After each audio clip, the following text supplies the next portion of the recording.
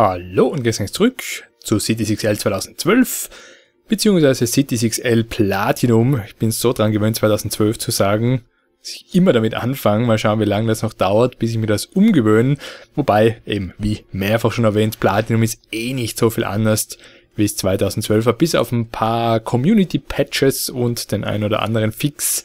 Leider, leider, leider, leider eins der wichtigsten Dinge wurde nie wirklich behoben, das ist der Handel. Da ist immer noch absolutes Chaos angesagt. Und ich habe euch ja gefragt, sollen wir das Offscreen erledigen oder nicht? Und ihr habt gemeint, ja, bitte die Reparaturen Offscreen durchführen. Und das habe ich jetzt auch gemacht. Kurz so zum Überblick. Ähm, hier sollte hoffentlich das meiste jetzt stimmen, also zwischen Desert Town und Seestadt, abgesehen davon, dass ich mich nie drauf verlasse. Ich glaube, es hat einmal eh wieder ein, zwei Regler da verstellt.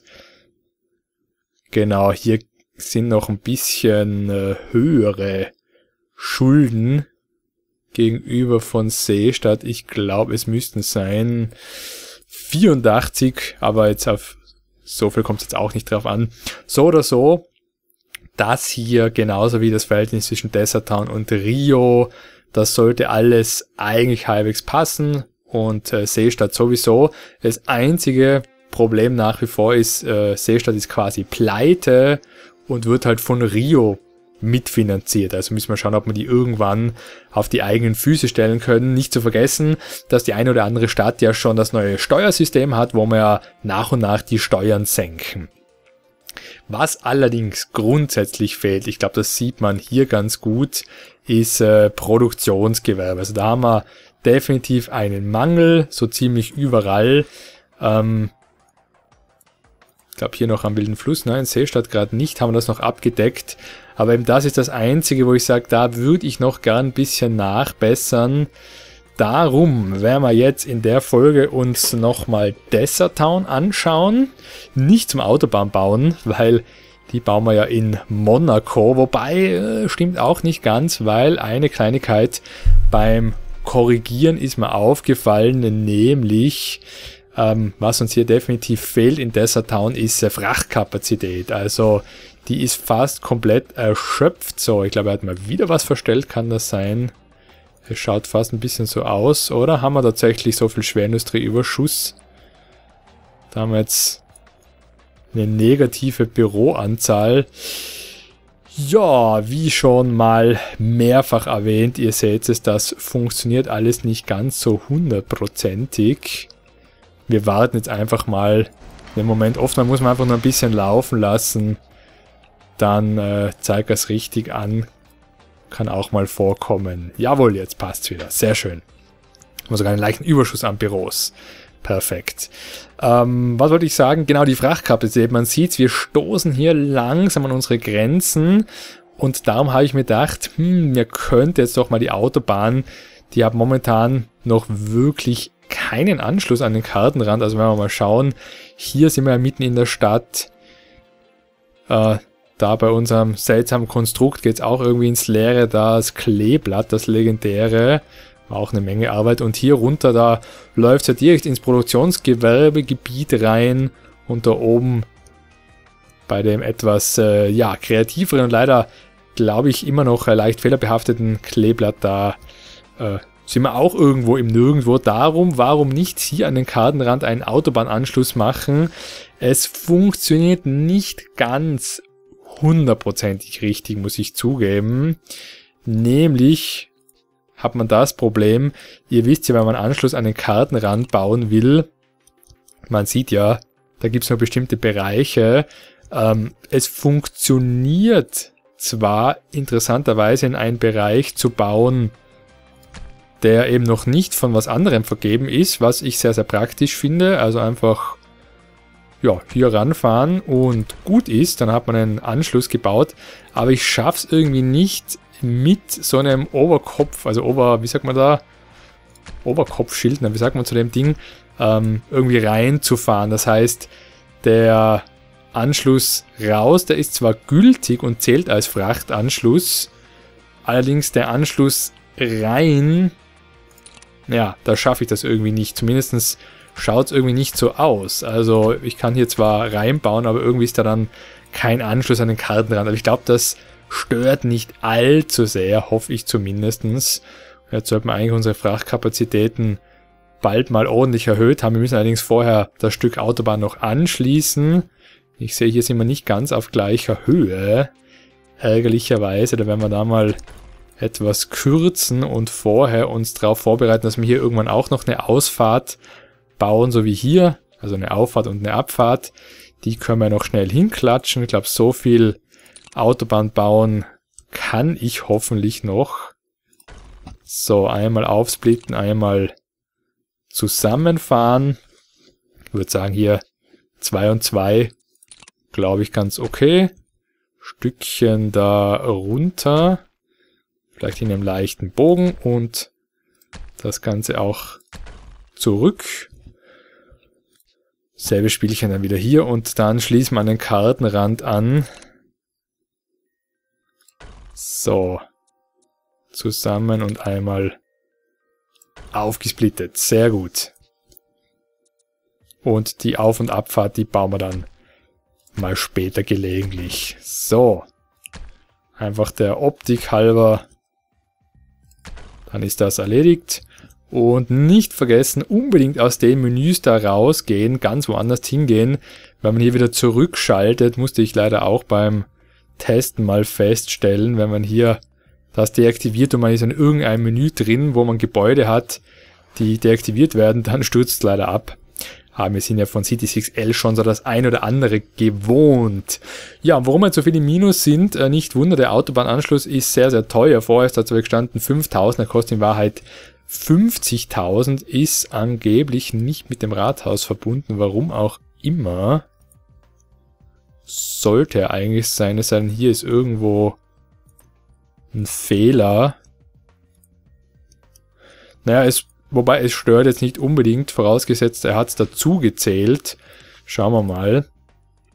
Na, hat er natürlich nicht. Das heißt, er kostet jetzt, ist aber offiziell nicht angeschlossen. Das ist etwas ärgerlich. Soll man vorsichtshalber nochmal bauen? Ich würde sagen, ja. Ah, der bleibt, ah, der bleibt bestehen da am Rand. Okay. Das heißt, das ist vielleicht sogar gar kein Ausfahrtsstück, das er da hinstellt, sondern ein Einfahrtsstück. Das kann natürlich theoretisch auch sein. Hab nämlich, glaube ich, noch nie wirklich mir das im Detail angeschaut, wie das mit Autobahnanschlüssen ist an den Kartenrand, weil wir es eben noch nie wirklich dringend gebraucht haben und es ist eben auch extrem teuer. Dann nehmen wir mal einfach an, es ist eine Einfahrt. Mal schauen, ob es dann akzeptiert. Ja. Okay, dann zählt das hier als Einfahrt. Ja, auch nicht so schlimm. Wobei, wenn ich hier jetzt rausfahre, na, stellt er kein Schild mehr auf. Gut, dann deuten wir es einfach an. Ich glaube, das genügt, würde ich sagen, oder? Ich denke, ja. Und jetzt äh, zählt es hoffentlich dazu. Ich verlasse mich einfach mal drauf. Schauen wir ganz schnell in den Handel. Jawohl, 220 haben wir jetzt. Sehr gut. Und eben, wie gleichen wir das Minus jetzt aus? Naja, eine Idee.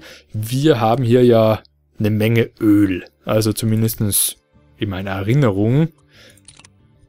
Genau, da können wir noch sehr viel fördern.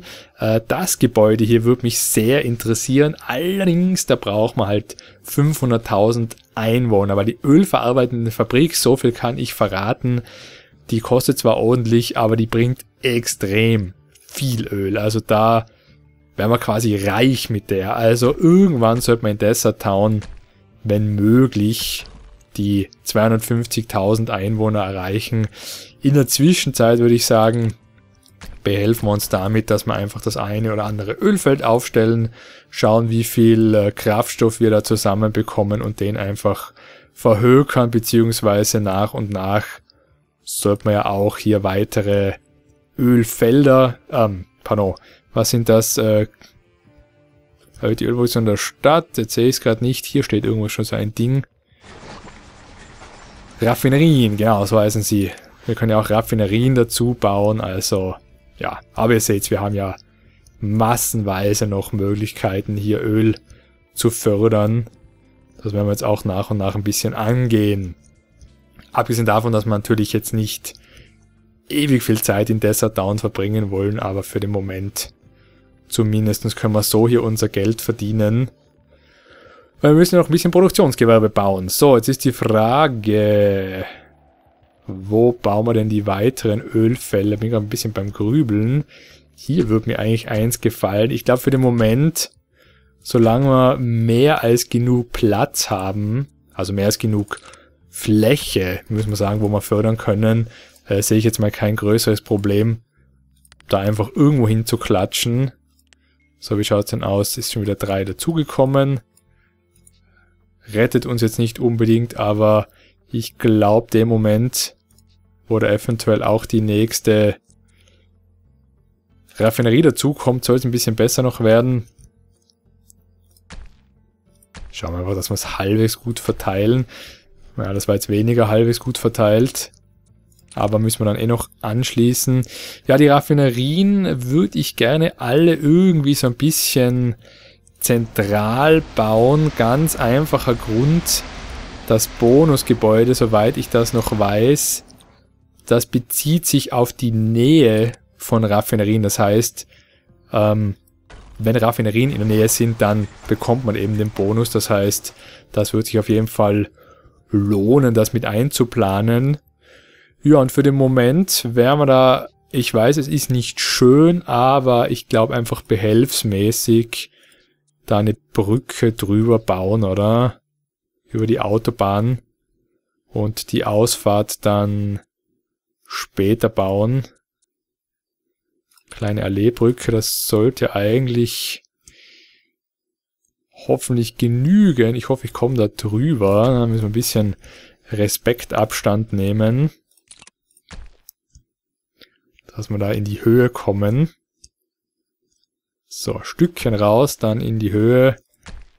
Und dann hoffentlich da irgendwie drüber. Perfekt. Und dann können wir wieder da runterfahren. Falls er mich lässt, heißt das... Ich darf nicht, okay. Vielleicht weil der Dialog da offen ist, jawohl. So.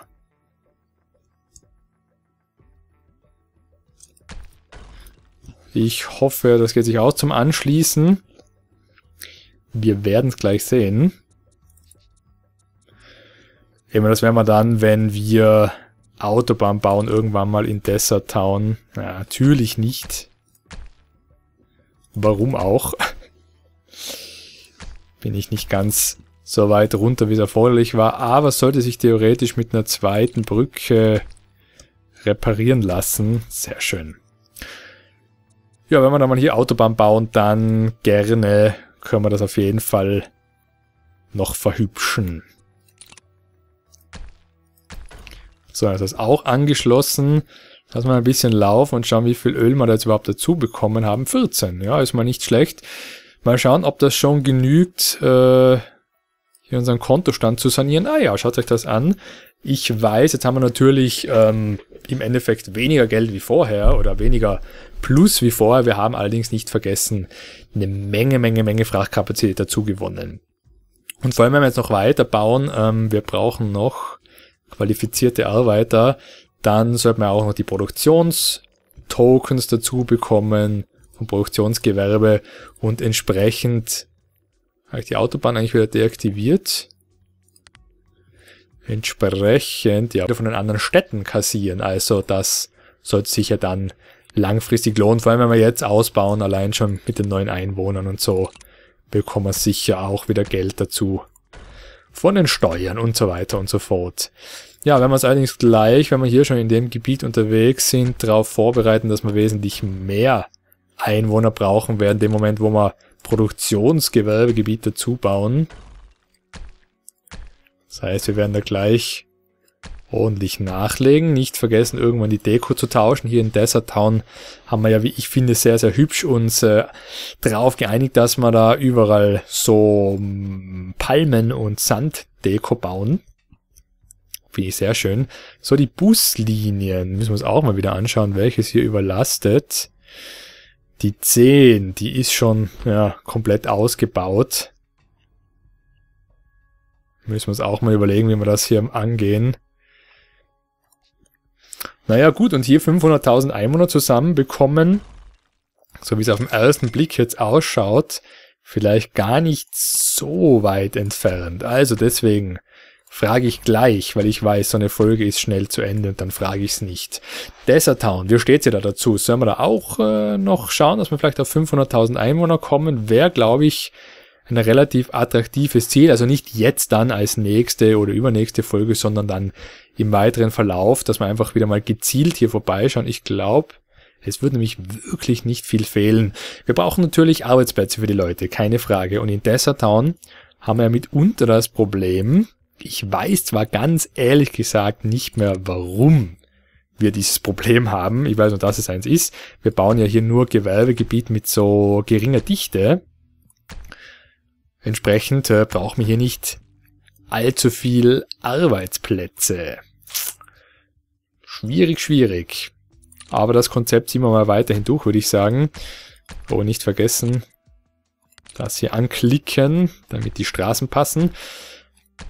Ähm, ja, ich lese, ich lese ab und zu, äh, dass der Verkehr komplett zum Erliegen kommt. Also ich glaube, auch das sind wir mittlerweile gewöhnt, dass wir hier mit Verkehrschaos leben müssen in Desert Town. Wie gesagt, irgendwann werden wir schauen, dass wir das eventuell mit den Bussen noch lösen. So, ich möchte gerade ein bisschen unregelmäßiger bauen. Ganz gerne, wenn er das irgendwie zulässt, aber da müssen wir einfach die Straßen manuell verlegen. Oder teilweise genügt es von der anderen Seite anzufangen. Dass er es akzeptiert. Na, hier ist einfach die Kreuzung ein bisschen... Da passt der Kreuzungsbereich nicht. Schauen wir mal, ob es so geht. Nein, auch nicht. Okay, dann verlegen wir die Straßen manuell, weil ich möchte es ein bisschen, ja, abwechslungsreich haben.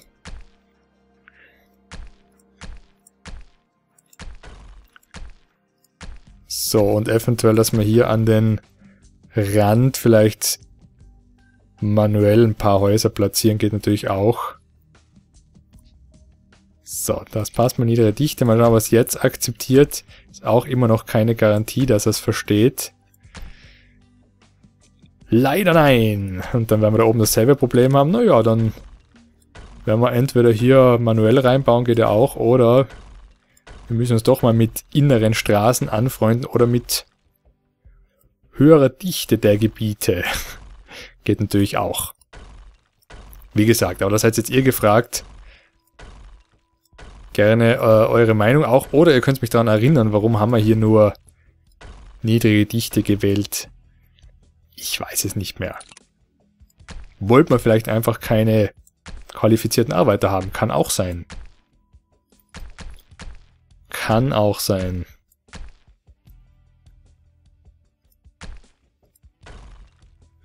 So, geht sich hier noch was aus? Schauen wir mal. Äh, auch nicht ganz. Teilweise leider, leider, leider. Wie schon mehrfach festgestellt, manche Kombinationen funktionieren entweder gar nicht oder ah, vielleicht habe ich hier noch schlecht gezielt, kann auch sein. Oder man muss es ein bisschen äh, komplizierter machen.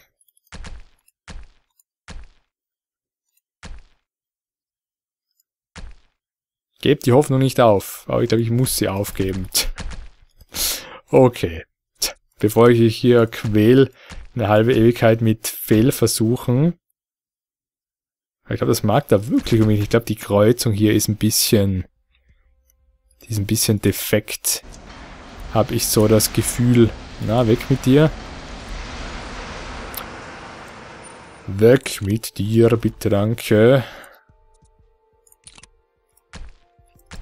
Ja, jetzt schaut sie richtig aus. Okay.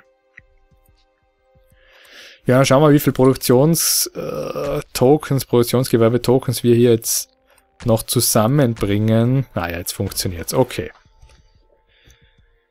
Bin ich gespannt. Schaut im Moment aus. Nicht täuschen lassen. Kann sein, dass sich wieder ein bisschen verstellt hat. Na, hier pa ah, passt doch nicht ganz hier. Mit Rio stimmt's nicht mehr so recht. Allerdings können wir schon mehr exportieren. Da fehlen jetzt noch zwei. Mittlerweile fehlen uns Büros. Tourismus können wir noch nachkaufen. Kraftstoff. Äh, die Zahlen oben, die stimmen jetzt natürlich auch nicht. Da müssen wir auch einstellen. Das mache ich aber dann offscreen. Ja, also eigentlich ein bisschen Produktionsgewerbe noch für Rio und Seestadt. Äh, da schaut's auch nicht gut aus. Dem müssen wir auch was zahlen, damit der Cashflow hier stimmt und wir das Wasser bekommen, was wir brauchen. Dafür sind die sonst eigentlich versorgt. Fehlt mir ein bisschen an Strom, das können sie selber produzieren. Ja, wir müssen ihnen sowieso was zahlen wegen dem Wasser. Ist nur die Frage, wie viel das äh, rechne ich dann aus. Aber sagen wir mal grob 90 oder was wäre für die Schwerindustrie? Ich glaube 6 haben wir davor gesehen. Das heißt, das wären 72, oder? Habe ich mich jetzt verrechnet. Stellen wir es einfach mal ein.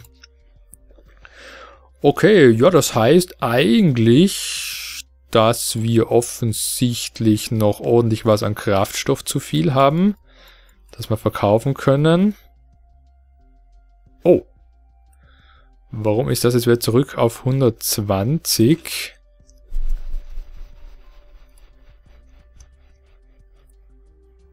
Nicht mit dem Rathaus verbunden. Hm.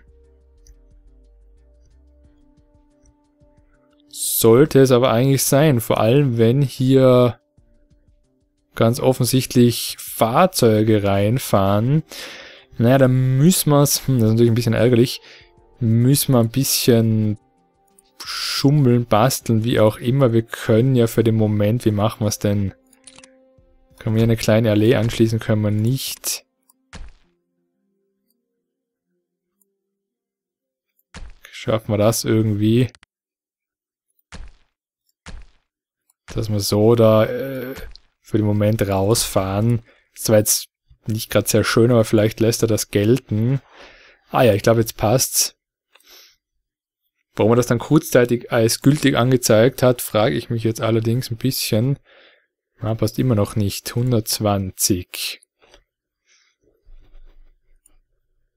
Stimmt wieder nicht. Nicht mit dem Rathaus verbunden. Okay. Ich würde sagen, bevor wir uns da jetzt quälen, schummeln wir, wenn schon, richtig. Wobei die Frage ist, kann ich überhaupt richtig schummeln? Weil, selbst wenn ich jetzt abschneide, ich glaube, ich kann hier keinen Anschluss an den Kartenrand bauen, oder? Genau, der nächste ist erst da oben. Ja gut, dass wir zumindest ein bisschen Frachtkapazität dazu bekommen. Machen wir es dann für den Moment so, dass wir einfach die Straße darauf verlängern, da rausfahren, dann bekommen wir, weiß ich nicht genau wie viel dazu, 20, 20, immerhin, das hilft uns schon ein bisschen für den Moment. Jetzt haben wir ein bisschen Puffer, dass wir weiter verkaufen und transferieren können. Ist weitaus ärgerlich, aber okay. Das schaue ich mir mal offscreen gelegentlich an, was da schief geht. So, da wird einiges als neu angezeigt, die ganzen Krankenhäuser. Gut, jetzt sind wir eh fast am Ende der Folge. Ähm, klopfe ich noch schnell, würde ich sagen, ein paar Produktionsgewerbegebiete hin. Und dann werden wir das Ganze langsam abschließen. Kurz nochmal durchbesprechen, wie es weitergeht. Wir können hier auch anschließen, da ist sowieso schon eine Kreuzung. Schaut's aus mit Arbeitslosigkeit eigentlich relativ gut. Das passt noch halbwegs. Qualifizierte bräuchte man sogar noch ein paar. Kann man noch ein kleineres Gebiet irgendwo hinpflanzen? Vielleicht hierhin. Warum nicht? So an den Hügel. fast zu steil, aber es geht noch. Sollte, glaube ich, genügen. Dass wir hier, genau, die Arbeitsplätze alle wegbekommen. Okay, also Desert Town. Letzter Blick auf den Handel. Wir können Rio offensichtlich versorgen. Sehr gut, es fehlt uns an Strom, an Landwirtschaft, an Büros. Strom, ja, bei dem aktuell doch äh, satten Kontostand, dank dessen, dass wir massenweise Öl exportieren, können wir natürlich problemlos noch schnell ein Kraftwerk aufstellen. Da haben wir eh schon ein paar. Können wir es auf jeden Fall auch noch leisten. Dann passt auf jeden Fall die Stromversorgung wieder. Ähm, So, dann können wir das da auch wieder einstellen. Das hat ja wegen der Frachtkapazität auch nicht ganz geklappt. Können wir sogar eins an Überschuss liefern. Ja, sehr gut. Wie geht's eigentlich unserem Mega-Bauwerk? Das habe ich jetzt auch nicht mehr geschaut. Ah ja, sehr schön. Da sind wir immerhin schon relativ weit in der ersten Phase. Uns fehlen allerdings Büros, dass wir es weiter bauen können. Okay, könnte man theoretisch auch aus New York oder aus Monaco holen. Gut, das heißt, wie geht's jetzt weiter? Ich würde mal sagen, Produktionsgebiet etc., also Produktionstokens haben wir jetzt genug, Produktionsgewerbe, Tokens so. Erste Frage an euch, äh, Desert Town, soll man auf die 500.000 spielen? Für mich gerne, dass wir da in ein paar Folgen wieder vorbeischauen. Dann ist natürlich die nächste Frage, wo geht's weiter? Ich würde mal sagen, die anderen Städte sind halbwegs okay. Dass jetzt hier Landwirtschaft fehlt, ein bisschen was oder ein bisschen was an Wasser, soll man nicht stören. Allerdings dürfen wir nicht vergessen, in New York werden wir den Bedarf auch bald haben und da können wir den selber nicht decken. Also das heißt, hier müssen wir irgendwann dann sowieso wieder ähm, an den wilden Fluss oder nach Seestadt, damit wir Wasser und Landwirtschaft produzieren können. In Neu-Monaco, da haben wir ja einiges zur Verfügung selber. Das heißt, da können wir selber uns um das kümmern, ohne dass wir groß importieren müssen. Und das ist, glaube ich, auch die Stadt, wo ich nächstes Mal ein bisschen weiter basteln will, weil ich hätte ein, zwei Ideen, beziehungsweise habt ihr ja auch ein paar Ideen geäußert. New York ähm, habe ich auch notiert, vielen Dank. Das werden wir aber dann in Ruhe besprechen, wenn es, glaube ich, soweit ist. Und ja, dann freue ich mich auf eure Wünsche. In der Zwischenzeit sage ich alles Liebe, alles Gute. Bis zum nächsten Mal. Tschüss, ciao, vielen Dank und Baba.